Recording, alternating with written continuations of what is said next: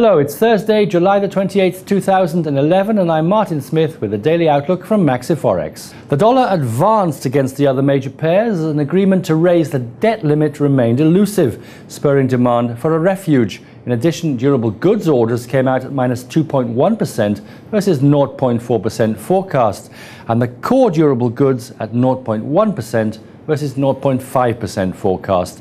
Wall Street closed negative as the Nasdaq fell by 2.65% and the Dow by 1.59%.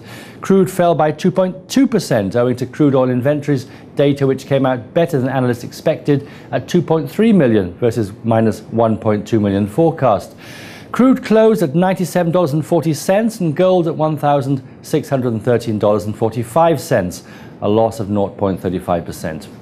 Today, unemployment claims are expected to be at 412,000 versus 418,000 last week, and pending home sales are expected to show a decline from 8.20% to minus 2%.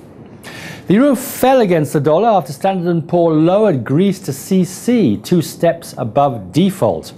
The euro dollar's momentum has become bearish with the pair breaking 144.50. As long as the euro is trading below 144, the pair will probably decrease further to 142.50 or perhaps even less. Overall, the euro dollar traded with a low of 143.38 and a high of 145.36. Today, German unemployment change is expected to be minus 15,000 versus minus 8,000 prior. The pound declined from a two month high against the dollar as an index of UK factory orders fell more than estimated. As long as the pound dollar is trading below 164, the momentum for the pound is bearish. Overall, the pound dollar traded with a low of 163.12 and a high of 164.39. Today, CBI realized sales are expected positive. The yen fluctuated versus the dollar only to succeed in gaining a negative US data caused investors to favor the yen as a refuge. The main trend of the dollar yen is strongly bearish. As long as the pair is trading below 178.50, the yen is the more attractive.